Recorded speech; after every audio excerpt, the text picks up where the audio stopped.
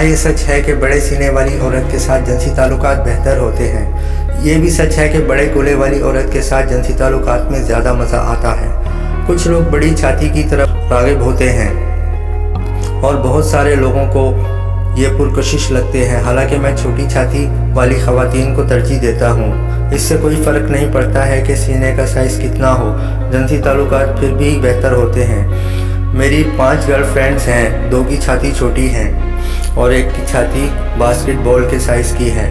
दरअसल जिनसी ताल्लुकात ऐसी खवातीन के साथ बेहतर हैं जो अपने जिसम से प्यार करती हैं और इन खवातीन के मुकाबले में जो शर्मिंदा हैं या इससे नफ़रत करती हैं, लिहाजा अगर ख़वातीन अपने बड़े सीनों से नफ़रत करती हैं तो इसके साथ जिनसी ताल्लुकात अजियतनाक होंगे।